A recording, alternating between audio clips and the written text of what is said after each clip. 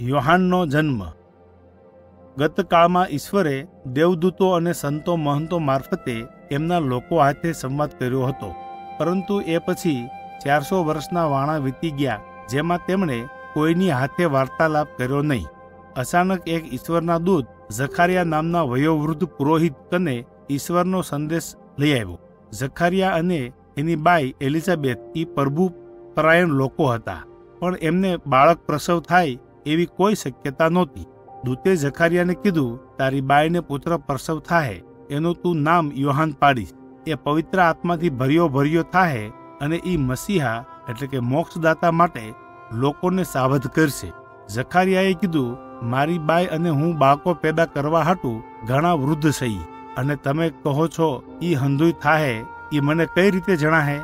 દૂતે ઝખારિયાને કીધું, તમને આ શુભ સમાચાર દેવા હાટું ઈશ્વરે મને મોકલો છે. બાળકનો જન્મ જ્યાં લગ્ન ના થઈ જાય, ત્યાં લગ્ન તું વાણી ઉચ્ચારી હકઈ નહીં, કારણ કે તે મારી વાત પર ભરોસો કર્યો નથી.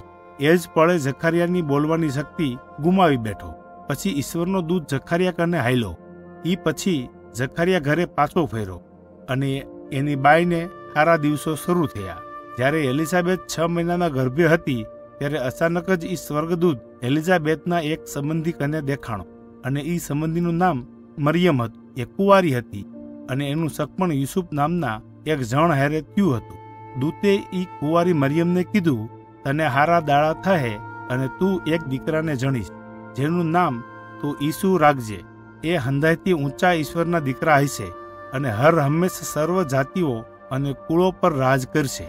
મરિયમે જવાબ દીધો, આ તે કેવી રીતે બની શકે હું તો એક કુંવારી કન્યા છું.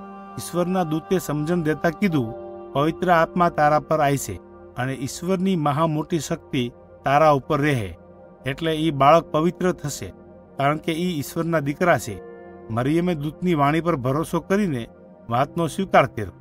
ઈશ્વરના દૂતની વાણી પછી તરત જ મરિયમ એલિઝાબેથને મળવા પહોંચી, જ્યારે એલિઝાબેથે મરિયમના હારા દાડાની શુભ વાત સાંભળી કે તરત જ એના પેટમાં બાળકે કૂદકો માર્યો. એ બેઉ બાઈઓ ઈશ્વરે એમના હાટું જે મહાકામ કર્યું હતું એ હારું ખૂબ જ હરખાતી હતી. ત્રણ મહિના પછી મરિયમ એલિઝાબેથને મળીને ઘરે પરત ફેરી. આ એલિઝાબેથે દીકરાને જન્મ આપ્યો, પછી ઈશ્વરના દૂતના કીધા પ્રમાણે ઝખારિયા અને એલિઝાબેથે એ બાળકનું નામ યોહાન પાડ્યું. ઈશ્વરે ફરી ઝખારિયાને બોલતો કીધો, ઝખારિયાએ કહ્યું, ઈશ્વરનો મહિમા થાઓ, કારણ કે એમણે એમની પ્રજાને સ્મરણમાં રાખી છે. મારા દીકરા, તું સર્વાધિપતિ ઈશ્વરનો સંત તરીકે ઓળખાઈશ.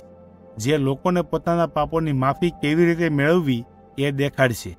બાઇબલમાંથી એક વાર્તા, લુક એક.